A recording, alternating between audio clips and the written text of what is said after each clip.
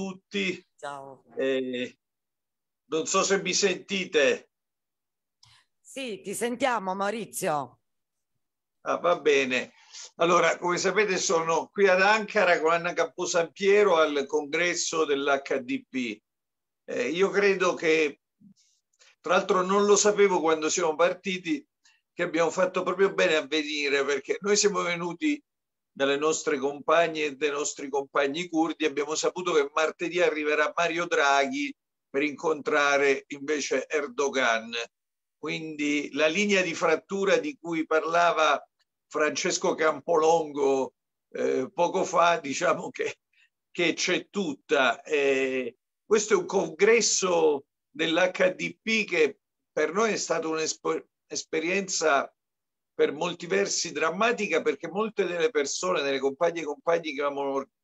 incontrato nel precedente, nel febbraio 2020, non ci sono perché in questo momento sono in galera, ci sono più di 4.000 militanti detenuti, tra cui più di 40 parlamentari e i due copresidenti eh, Demirtas e Figen, che tra l'altro fu nostra ospite eh, in Italia. Nonostante questo, eh, questo congresso, mi dispiace che non siamo riusciti a collegarci stamattina perché lo avremmo fatto da, eh, dal momento di massima partecipazione, ma nel, nel palazzetto non, non, c'è la possibilità di collegarsi, eh, perché è una festa di popolo e credo che possa essere per noi in un contesto completamente diverso, però di molta ispirazione verso forme di creatività politica che molto spesso ci mancano perché nella nostra area stiamo sempre col freno a mano tirato. Perché dico forme di creatività politica? Perché i compagni e compagni curdi hanno costruito per reagire a un sistema politico blindato con eh, uno sbarramento al 10% che era pensato proprio per escludere eh, la sinistra più radicale e anzi la sinistra direi in Turchia e, e i curdi avevano sostanzialmente eh, inserito questo super sbarramento che è stato oh, superato invece nelle ultime elezioni a più riprese nonostante la repressione ferocissima attraverso un'invenzione politica. l'HDP il partito della democrazia dei popoli in realtà al suo interno a tanti partiti, organizzazioni sociali, movimenti, non solo i curdi, eh, ma anche le altre minoranze presenti nel paese, eh, soggettività femministe, sindacali, eh, una pluralità di realtà eh, che non configurano un partito come era inteso nel eh, Novecento, eh, però questa convergenza politica eh, che hanno costruito ha consentito di reggere la repressione e anche eh, l'ingegneria repressiva sul piano istituzionale eh, di blindatura del, dello spazio della rappresentanza. Oggi eh, l'HDP ha lanciato una nuova offensiva, e cioè in questo congresso, a fronte della repressione che sta subendo da Erdogan, eh, ha lanciato la proposta che ci sia una grande alleanza eh, di tutte le opposizioni eh, per mandare, insomma, per sconfiggere Erdogan eh, alle prossime elezioni e su questo ci sono stati molti interventi che hanno teso a spiegare eh, come in questo momento in Turchia eh, sia in ballo una lotta contro il fascismo. Ovviamente dico questo eh, mettendo le mani avanti, non penso che sia uno schema riproducibile in Italia perché noi non abbiamo Erdogan ma abbiamo Draghi. Però lo cito e c'è un contesto completamente diverso, ma lo cito perché eh, i differenti livelli dell'azione sociale, culturale, sindacale, eh, dei movimenti e dell'azione politica sul terreno della rappresentanza vengono eh, declinati dalle compagne e compagni curdi con una grande creatività che è quella che dovremmo avere anche noi. Io su questo sono d'accordo su una cosa che ho sentito Campolongo, scusate se citerò solo lui e Fabris, ma sono gli unici eh, che ho ascoltato, quindi mi sarebbe impossibile eh, citare tutti voi che avrete detto sicuramente cose molto interessanti, almeno dall'ottimismo e insomma dal giudizio che ho sentito da parte di Gianni, eh, molto rincuorato dal dibattito che, eh, che c'è stato. Io condivido quando Francesco diceva che eh, c'è un lavoro da fare di lungo periodo per ricostruire eh, una sinistra con un profilo forte di massa nel nostro paese, ma che eh, non dobbiamo contrapporre il lungo periodo al, eh, all'incursione invece sul terreno della rappresentanza qui e ora, che è un dovere e che a mio parere dobbiamo perseguire eh, cercando eh, di creare le migliori condizioni. Personalmente non sono innamorato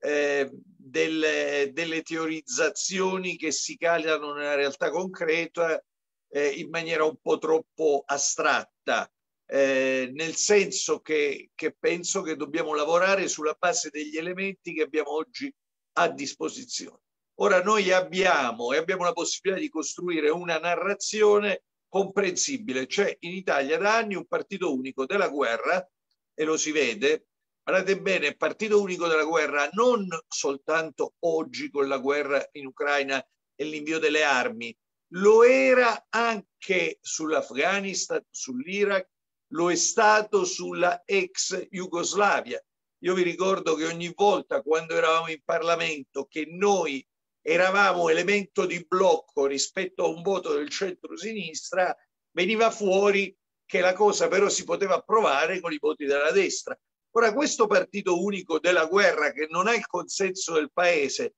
ma ne ha ancora troppo eh, a sinistra, è anche il partito unico della precarizzazione del lavoro, è il partito unico delle privatizzazioni ed è il partito unico dell'attacco alla Costituzione. Su questo punto io credo che noi possiamo fare una narrazione popolare e proporre un'alternativa in Italia che sia di governo. Io credo che questo sia fondamentale anche quando si rimane in cinque o in dieci. Eh, se noi pensiamo che non ci sia un terreno, e su questo chiudo, un terreno per la convergenza con forze politiche, guerrafondaie e neoliberiste, noi non possiamo ragionare in termini di nostra sopravvivenza e come le compagne e i compagni curdi dobbiamo inventarci una proposta nostra che però parli a milioni di persone. Io credo che sia una proposta che debba essere nel segno della Costituzione gettata nel spazzatura da tutto il partito unico, debba essere popolare, parliamo da due giorni, parlate di Sud, io credo che noi, dopo tanti convegni, dobbiamo uscire per le strade del Sud a fare, a fare comizi contro l'autonomia differenziata, dando dei venduti e dei traditori ai rappresentanti di tutti i partiti che sostengono l'autonomia differenziata, da Fratelli d'Italia fino al Partito Democratico, passando per tutto il resto. Credo che sia una campagna che dobbiamo fare. A me non piace il termine populista perché mi basta essere popolare. E dico una cosa, che essere fedeli alla Costituzione significa essere per una rappresentanza che sia con decoro e onore e, e quindi credo che noi dovremmo rilanciare la campagna tradita dal Movimento 5 Stelle, quella per dimezzare le retribuzioni degli eletti in questo paese non, sono contrario invece a ogni restrizione degli spazi eh, democratici. Eh, chiudo con eh, una battuta che hanno fatto in apertura del congresso dell'HDP. La compagna che ha aperto il congresso ha detto questa è la capitale Ankara del fascismo di Erdogan, oggi la trasformiamo nella capitale della democrazia. Ecco, io credo che noi dobbiamo offrire una visione del genere al paese, non è mai stato così squallido il panorama politico così omologato, noi dobbiamo offrire la visione di una alternativa possibile per la quale valga la pena di spendersi e farlo nella più grande pluralità possibile delle culture, delle sensibilità e anche degli interessi che difendiamo perché va ricostruito un blocco popolare. E anche qui mi è piaciuto l'intervento di Gianni, perché noi molto spesso abbiamo un immaginario legato solo al lavoro salariato dipendente eh, o di fabbrica e via discorrendo, ecco, invece deve essere plurale e deve essere intersezionale e dentro ovviamente c'è bisogno anche dell'altra agricoltura. Un saluto a tutte le compagne e compagni. Grazie Maurizio.